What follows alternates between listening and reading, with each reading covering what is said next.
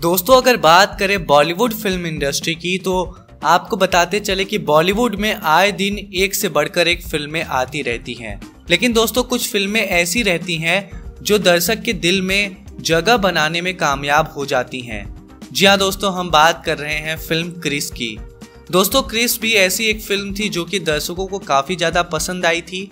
लेकिन दोस्तों, आपको बताते चले कि जल्दी आपको क्रिस फोर देखने को मिलेगा। दोस्तों आपको बता दें कि क्रिस फोर का जो स्टार कास्ट है वो लगभग फाइनल मान लिया गया है। जी हाँ दोस्तों कंफर्म हो चुका है स्टार कास्ट क्रिस फोर का। लेकिन दोस्तों सबसे बड़ा सस्पेंस ये है कि आखिरकार क्रिस फोर में विलेन कौन होगा?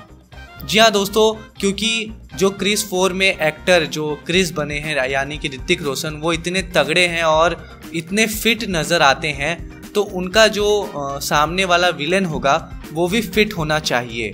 तो दोस्तों, ऐसे में खबरें आ रही हैं कि बॉलीवुड के खिलाड़ी कुमार, यानी कि अक्षय कुमार को इस फ़िल्म के लिए अप्रोच किया गया है। जी हाँ दोस्तों, फ़िल्म, इस फ़िल्म में अक्षय कुमार जो हैं, वो विलन की भूमिका निभाते हुए नज़र आ सकते हैं। अभी इसकी ऑफिशियल अनाउंसमेंट नहीं हो पाई है, लेकिन जल्द ये खुशखबरी सुनने को हमको मिल सकती है।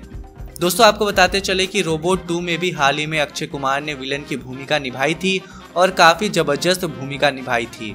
और उसी को देखते हुए उनको विलन के लिए अप्रोच किया गया है।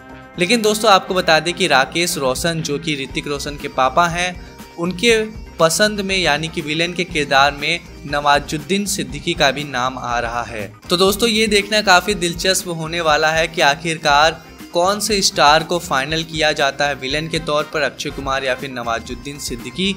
तो दोस्तों, आपको क्या लगता है कि किसको होना चाहिए उनके अपोजिट में ऋतिक रोशन के? नीचे कमेंट सेक्शन में लिख के बताइए। वहीं क्रिस फोर से जुड़ी जानकारी के लिए सब्सक्राइब कर लें टॉप ओपन फैक्ट्स ताकि बॉलीवुड की हर खबर मिले आपको सबसे पहले। धन्यवाद।